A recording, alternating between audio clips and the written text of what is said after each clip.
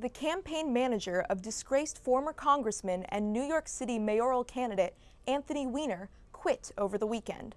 A spokesperson confirmed the departure of Danny Kedem, who joined the campaign in early spring. Kedem declined to give a reason for his resignation, but this news comes at a time when Weiner is under scrutiny for new revelations of sexually explicit online relationships. Since this latest scandal, Weiner has dropped nine points in the polls and out of his first place position, and many have called for him to drop out of the mayoral race. Aboard his flight back to the Vatican today, Pope Francis addressed an issue that has long divided Catholics homosexuality within the priesthood.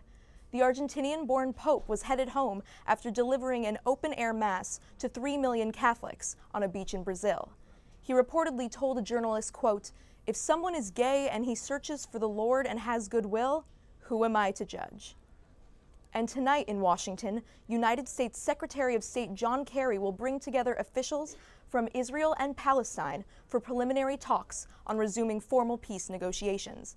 The talks were made possible after Israeli Prime Minister Benjamin Netanyahu agreed to release 104 Palestinian prisoners convicted of violent crimes against Israelis.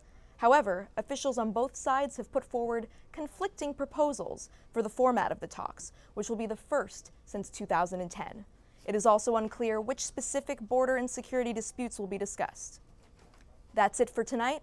I'm Lisa Feierman, CBS News, Washington.